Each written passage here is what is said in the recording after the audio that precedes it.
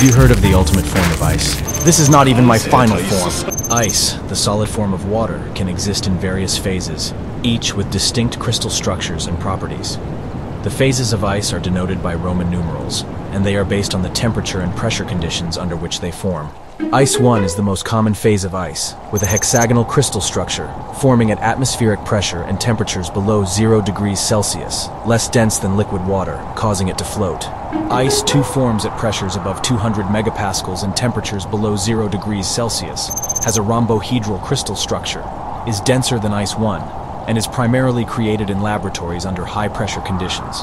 Ice 3 forms at pressures around 300 megapascals and temperatures below 0 degrees Celsius, has a tetragonal crystal structure, and is denser than Ice 1 and Ice 2, rarely occurring in nature.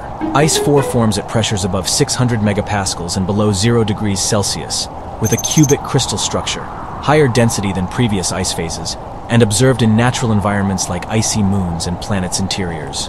Ice 5 forms at pressures above 1.1 GPa and below 0 degrees Celsius, with a monoclinic crystal structure, higher density than Ice 4, and is also referred to as monoclinic ice.